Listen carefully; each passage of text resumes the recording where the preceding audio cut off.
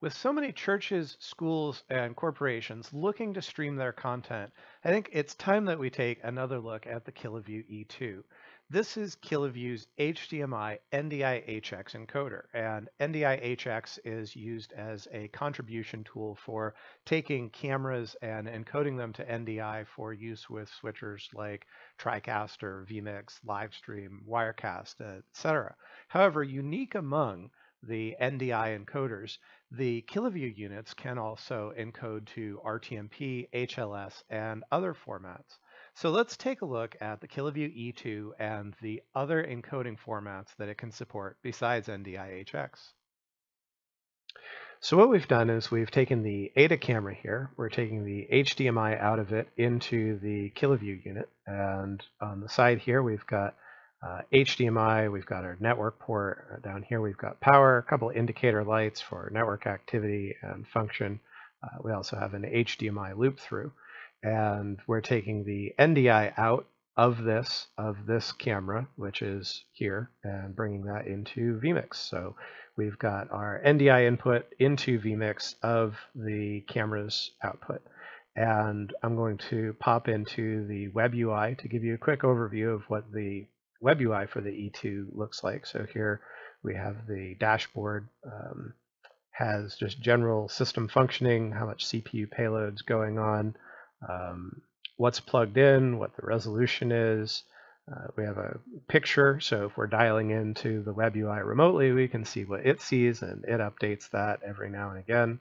So it takes a snapshot every couple of seconds to let you know what's going on right here within the web UI and then it tells you um, what the different streams are going. So right now what I have is I have um, the RTSP stream, which is actually feeding the NDI-HX. Uh, it sounds confusing, but it's actually NDI.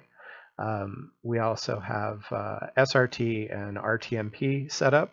So what I've done, uh, SRT is for point-to-point. So if we wanted to send a stream from here to uh, any particular place uh, on the net, um, in this case, I'm sending it um, side by side with the NDI to vMix. So it's going out to our local router and then um, coming back in uh, locally, but just as an example. So if you look, here, I'll put them up side by side so you can see on the left is SRT and on the right is NDI. And you can see there's a little difference in latency between them, but that's fine because SRT is not meant to be a low latency protocol. It's meant to send video reliably over the internet. But um, while SRT is great and cool, what we're looking at today as far as um, the E2 is how to send to platforms like YouTube and Facebook, for which we're going to be doing uh, RTMP.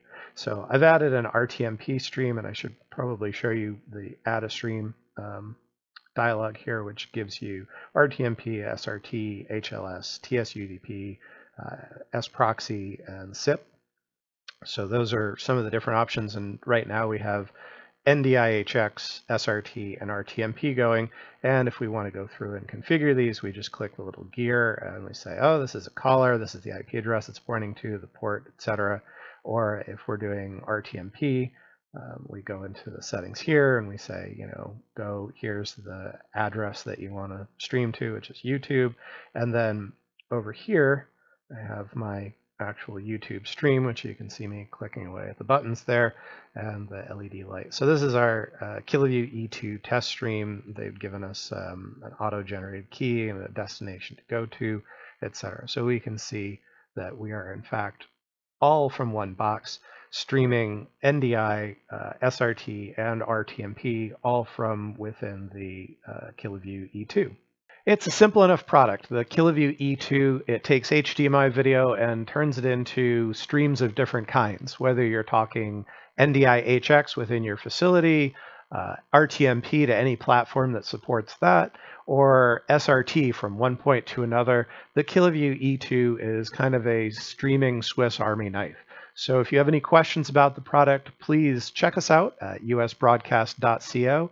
You can check out our Facebook page. And if you have any further questions, don't hesitate to reach out. Thanks for watching.